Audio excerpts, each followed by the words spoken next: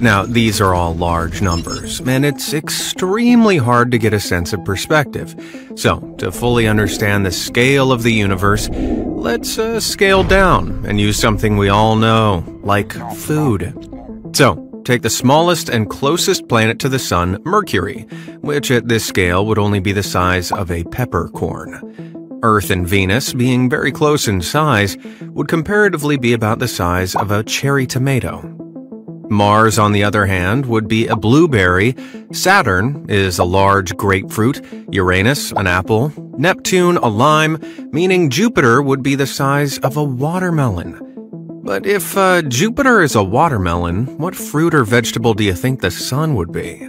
Maybe one of the largest fruits of all, the jackfruit? Or a pumpkin, perhaps? Maybe a marrow? A good guess, but I'm afraid you're wrong. Since the size of the Sun is 1,000 times the size of Jupiter, it'd be closer to the size of a large skyscraper.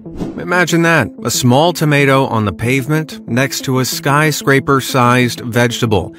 That's really how small the Earth is comparatively.